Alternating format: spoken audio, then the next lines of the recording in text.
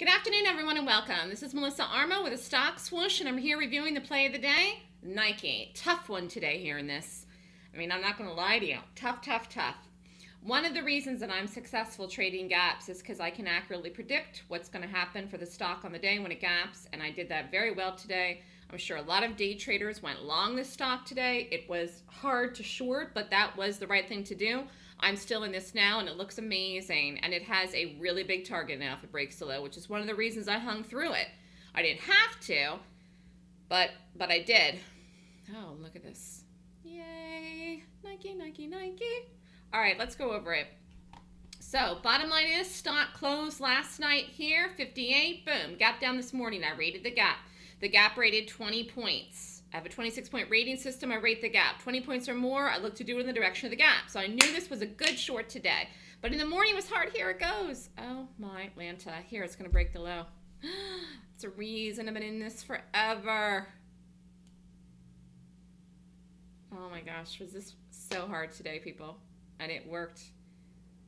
This was professional expert Melissa Armo trading at its finest. I mean, to call this today, so hard. Here, let's just go over it. So late for me to be in a trade.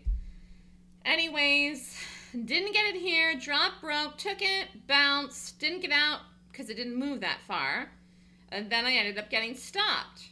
Reset up again, retook it, better entry, only a 35 cent stop, drop, drop, drop, didn't get out. Could have, some people in the room did. I felt very, very convinced and had a high level of conviction that the stock then would have a big move of the day, not go over the high of the day, not go over 55, break the low and drop. Day traders were trying to buy this today into the support of the daily chart, and it wasn't a long, it was a short. So aware of the fact that the people against me that were traders were buying it, but aware of the fact that the institutions which I like to trade with are shorting it or selling it, I stayed with the short side today with this, and it is paying off. Let's look at the 30 minute. This now has a large target. Through the low, 54, and possibly under that could be 53 something.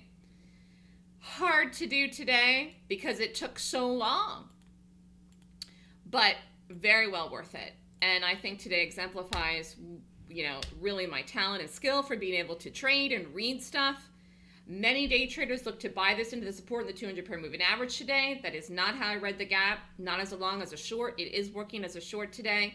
It's been a long, long, long morning, but it looks great.